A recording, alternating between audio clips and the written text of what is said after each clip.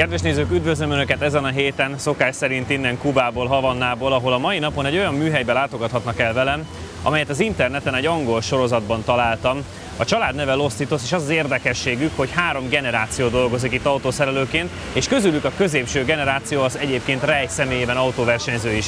Ő az, aki a hátteremben Zsoltival beszélget, hiszen mint kiderült, járt már Európában többször is, nagyon szereti a rallizást, sőt, volt azon a verseny is éppen, amelyiken Zsolti részt vett 2012-ben San Marino-ban. Nagyon sok tehát a kapcsolódási pont, de ettől függetlenül lényegileg megtudjuk tőlük, hogy a hátteremben látható Bel Air versenyautója hány lóerős és vajon mit tud, és hogy épül föl itt a család, hogyan szellik az autókat. Ez lesz a mai garázs lényege, tartsanak velünk!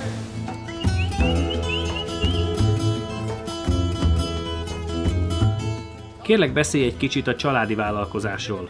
Ki alapította, hogyan indítottátok el? Nagy múltra tekint vissza ez a műhely, még a nagyapám kezdett ezzel foglalkozni, aki azóta már meghalt. Egyike volt az első szervizeknek.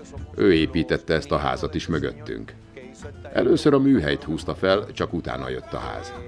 Később édesapám elkezdett segíteni neki, és ő is beletanult a szakmába. A testvéremmel már a harmadik generáció vagyunk, mi folytatjuk a hagyományt. 1958-tól létezik ez a műhely, és 1961-től működik jelenlegi állapotában. Ha valaki ilyen közel születik egy szervizhez, egyértelmű, hogy vonzódni fog az autókhoz, a szereléshez, a versenyekhez. A szerelés a vérünkben van. Mondj nekünk pár szót a versenyzésről. Beleszületve az autós világba, hamar közel kerül az ember a versenyzéshez is. Naponta bütykölöd az autókat, és amikor vezeted őket, érzed a sebességet, az erőt. Feltámad benned a vágy a versenyzésre is. Mindig szeretnéd jobban megcsinálni és fejleszteni. Mindenféle autót szerelünk, nem csak régi amerikai kocsikat, hanem modern autókat is. Nekünk itt sok mindent magunknak kell megoldani, mert nincsenek boltok, nem lehet bármit beszerezni. Ezért maga a szerelés is egyedi megoldásokat követel. Sok lehetőségünk volt a versenyzésre, és láttuk, milyen jót tett a műhelynek, hogy sokat meg is nyertünk. Ez jó reklám, mert akik jó autókkal járnak az utcán, szívesebben jönnek hozzánk.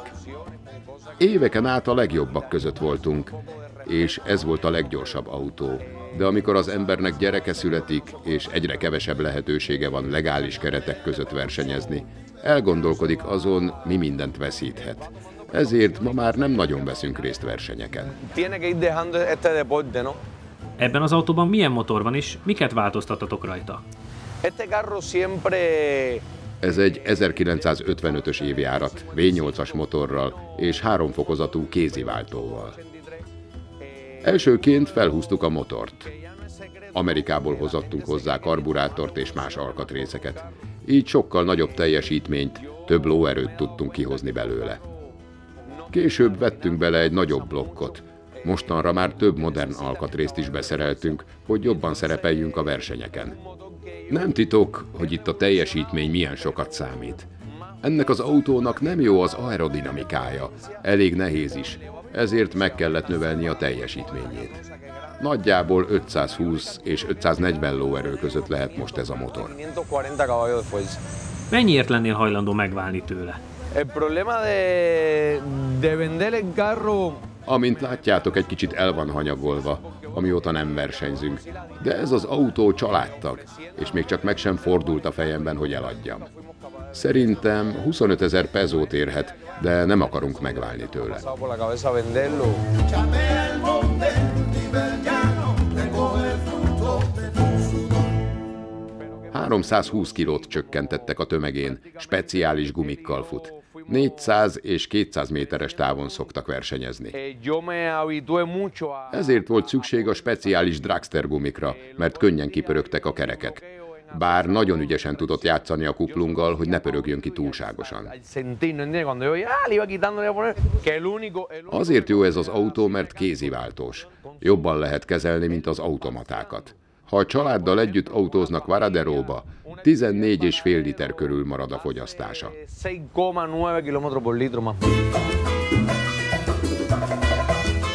Szokás szerint a kamerán kívüli beszélgetésekből derült ki, illetve derül ki ezekben a pillanatokban is a legtöbb információ. Rej, ha vendéglátónk elmondta, hogy például az a gumi, ami egyébként otthon nekünk is megvan az utcai autónkon, a kamárókon, ez neki egy amerikai változatban van, meg nekünk egy japán Nitto van, neki pedig egy amerikai verzió, ami nagyjából 200 dollár lenne Amerikában, itt nála 2000 dollár, ő annyiért vette, ezért is nagyon vigyáz rá, ezért próbálja minél kevesebbszer használni. Nem mondta, mennyit fogyaszt az autó, ami nagyon érdekes, hiszen eddig megtudhattuk, hogy a dízelautók, amikkel taxiznak, azok nagyjából ilyen 15-17 kilométert mennek el egy liter gázolajból. Na az ő versenyautója, ha a család megy vele mondjuk Varadéróra, hiszen arra is használják, akkor nagyjából ilyen 7-8 kilométert megy el egy liter benzinnel, viszont ha versenyhelyzetben van, akkor azt mondja, hogy alig megy el 3 kilométert is.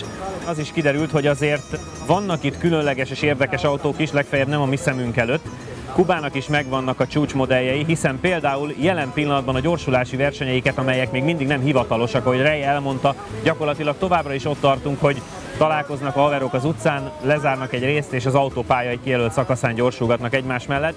Nos, mostanában ezeket a versenyeket egy M3-as BMW, egy 2012-es M3-as BMW nyeri, illetve ő a leggyorsabb, amelyben attól függően, hogy milyen programot használnak rajta, akár 740-780 lóerő is lehet, hiszen ez a BMW turbós.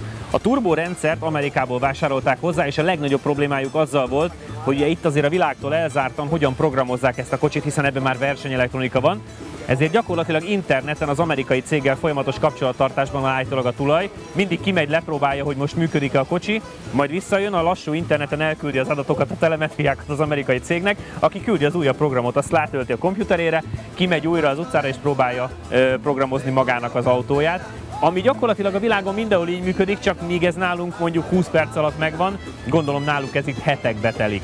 De nagyon fontos info, hogy, hogy azért van ilyen komoly autójuk is itt, nem véletlen, hogy a, az egyébként maga által 500 lóerő fölé pozícionált uh, Belerrel már Rej nem fog annyira sokat kijárni versenyezni, hiszen már nem nagyon tud labdába rugni ezek ellen a modern autók ellen.